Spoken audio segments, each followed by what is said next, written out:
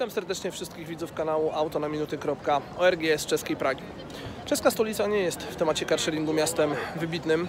Mamy co prawda tutaj aż e, czterech usługodawców, natomiast e, żaden z nich przynajmniej liczbowo nie rzuca na kolana. Mimo to postanowiłem przyjechać do Pragi i opowiedzieć Wam o najciekawszej, moim zdaniem, praskiej usłudze.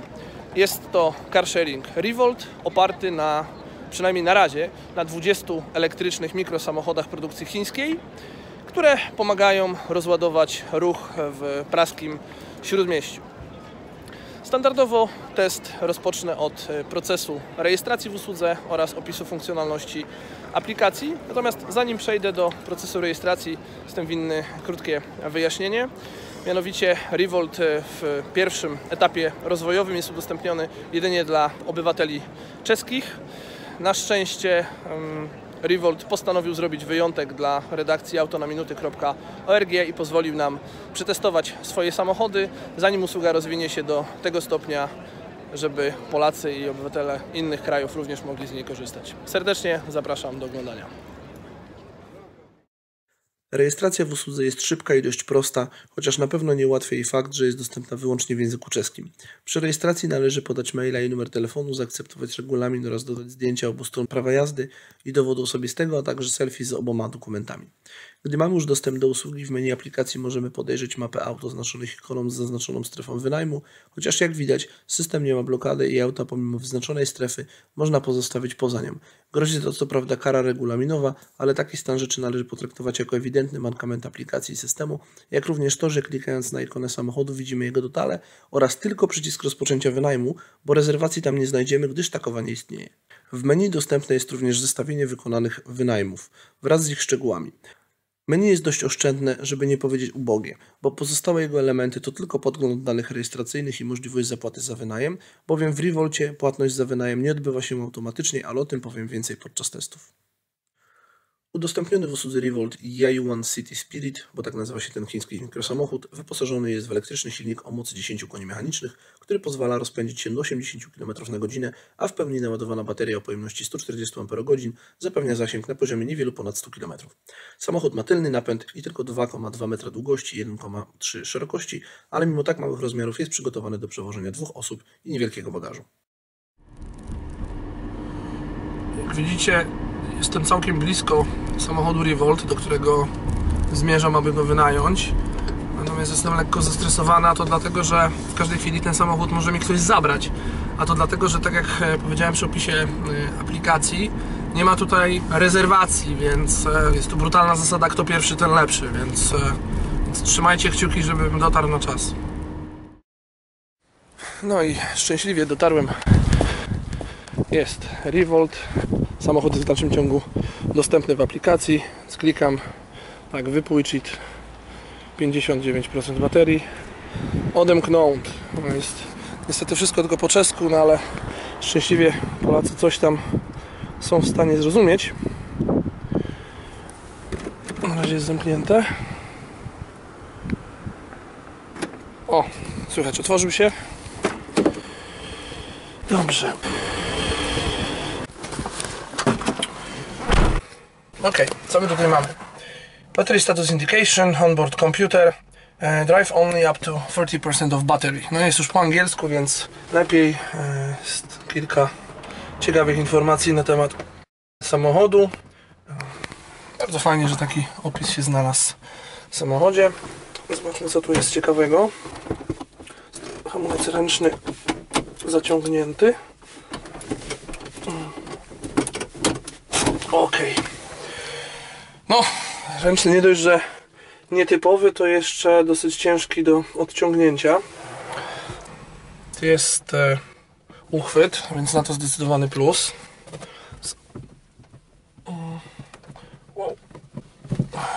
Trochę nie mój rozmiar.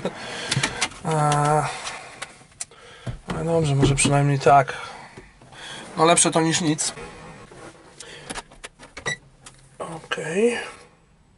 Samochód jest z automatyczną skrzynią biegów, e, a raczej z automatycznym e, pokrętłem biegów. Eco Drive, ups, Eco Drive, Neutral, Reverse. O, mamy kamerę, więc całkiem niezłe wyposażenie. Jest klimatyzacja. Dobrze, przełączmy na te, żeby nikt nie... Eee, rozciszmy. No i cóż, i tu jeszcze jest ciekawostka Battery Status Indication. Mm. Jest to zaznaczone wręcz e, na czerwono, żeby zwrócić na to uwagę. E, Ale o tym, dlaczego jest to tak ważne, to e, powiem pod koniec. Dobrze, więc zamkniemy sobie kamerę. Pas.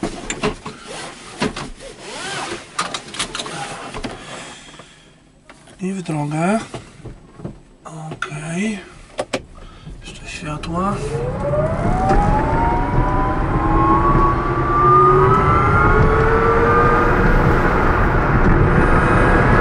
Jeżeli ktoś powiedział Wam, że samochody elektryczne są ciche, to kłamał. Przynajmniej. Wow! Samochód Revolta cichy nie jest.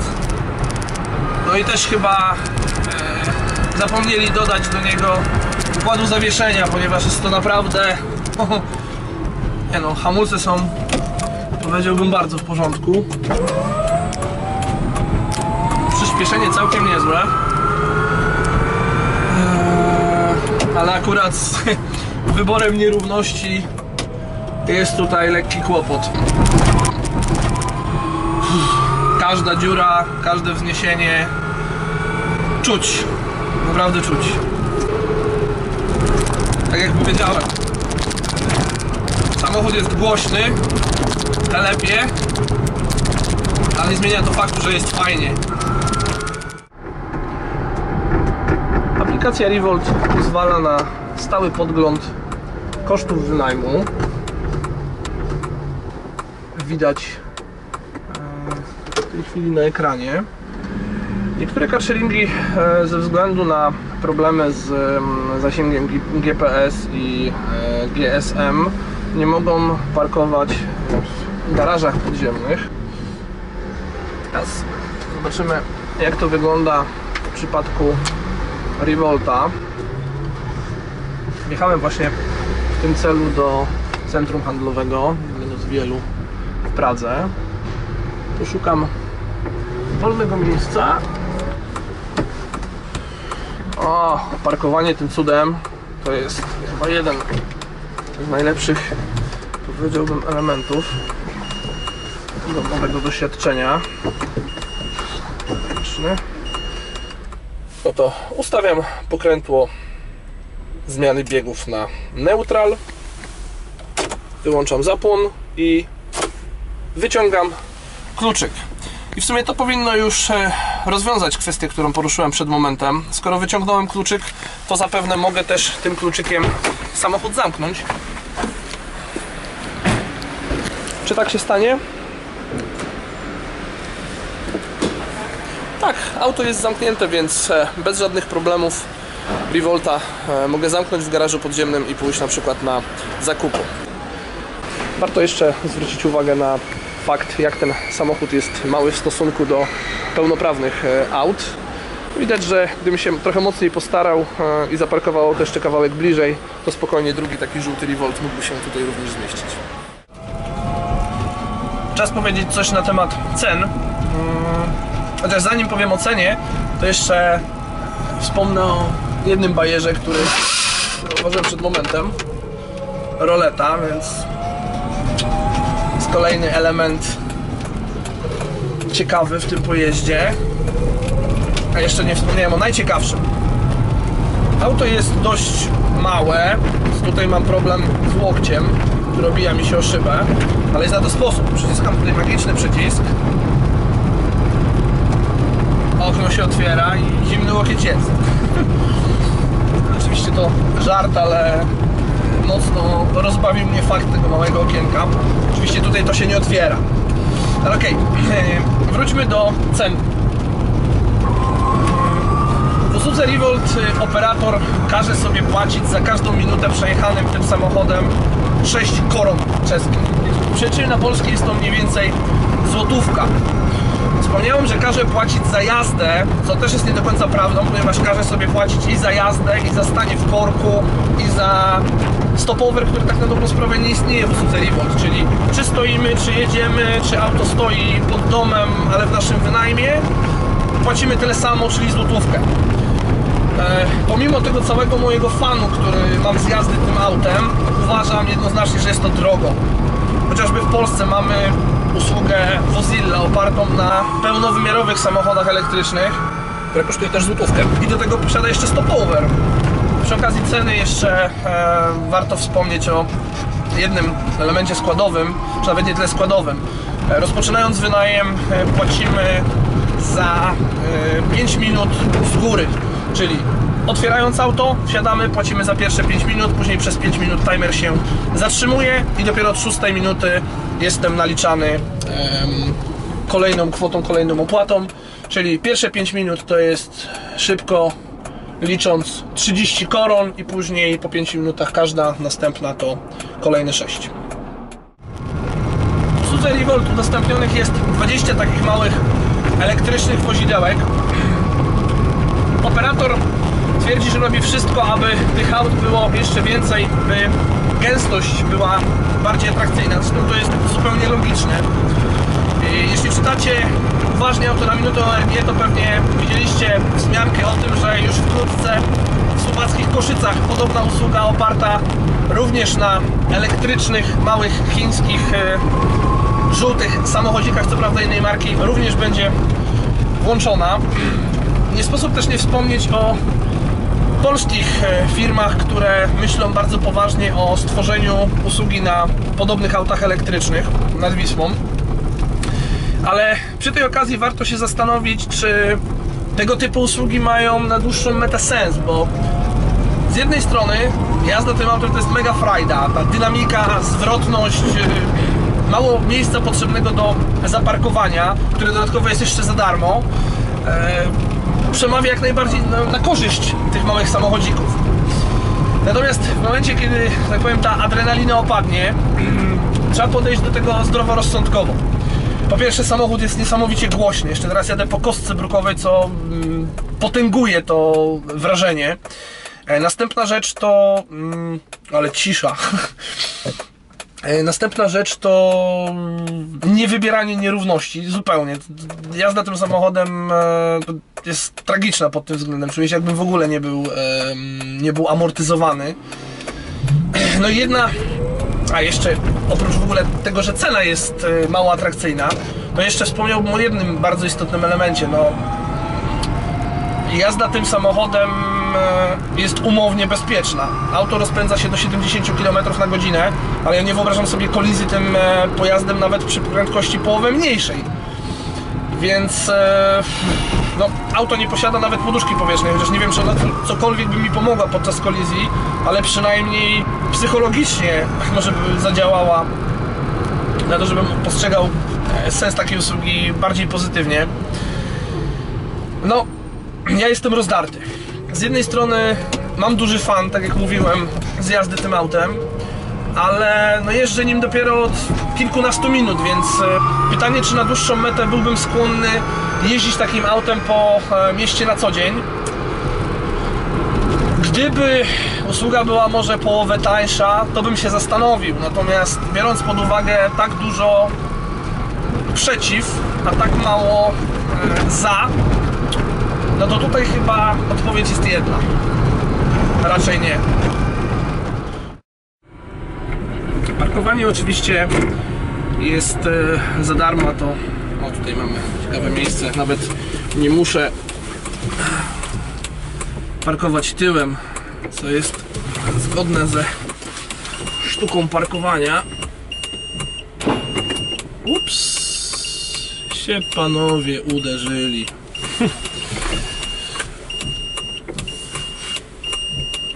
No tak.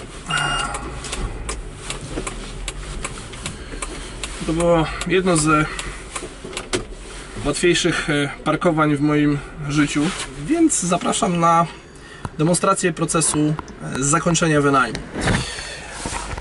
Zanim jednak rozpocznę ten proces, e, chciałbym zwrócić Waszą uwagę na jeden istotny element. Muszę najpierw wejść do menu, wybrać info samochodu. Mamy tutaj stan baterii 61% i tutaj jest ciekawostka. Muszę zapamiętać ten poziom baterii. Zaciągam ten nietypowy ręczny. Ok, wszystko. Więc wychodzę z samochodu.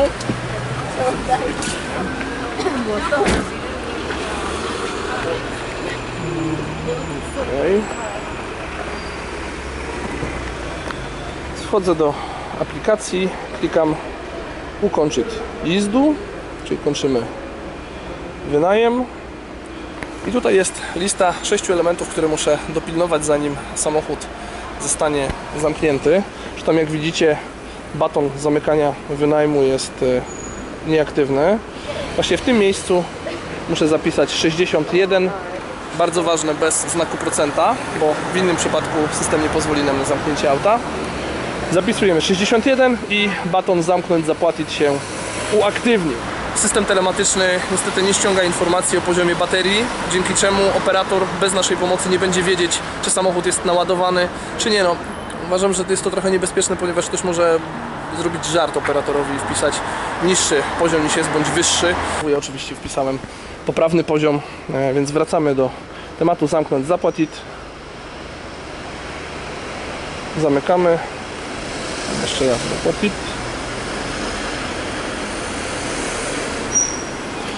I tu kolejna ciekawostka, chociaż w międzyczasie zobaczmy, zamek się zamknął z lekkim opóźnieniem, ale ostatecznie zakończone. E, Zostałem przeniesiony do systemu GoPay. Karta płatnicza. Tak. I tutaj musimy podać, jak widać, e-mail, numer karty, datę ważności, kod CVC i zapłacić 332 korony. No Niestety fakt tego, że e, system nie organizuje płatności automatycznie i za każdym razem po zakończeniu wynajmu jestem zobowiązany zapłacić za mój przejazd tak samo jakbym robił przelew e, jednorazowy, no jest dosyć, e, bójmy się tego powiedzieć, upierdliwe. No i raczej to może być kolejny element, który może zdecydować o tym, że jednak ta usługa nie przyjmie się ostatecznie w Pradze. No i to by było na tyle z Pragi. Dzięki serdeczne za uwagę. Zapraszam do odwiedzania portalu autonaminuty.org, odwiedzania profili facebookowego i twitterowego, a także do oglądania filmów na YouTube'owym kanale autonaminuty.org. A jeśli ktoś jeszcze nie zasubskrybował naszego kanału, proszę jak najszybciej naprawić ten błąd, kliknąć tutaj, aby być na bieżąco z tematami odnośnie współdzielnej mobilności w Polsce i jak widać na świecie. Jeszcze raz dzięki za uwagę. Na razie. Cześć.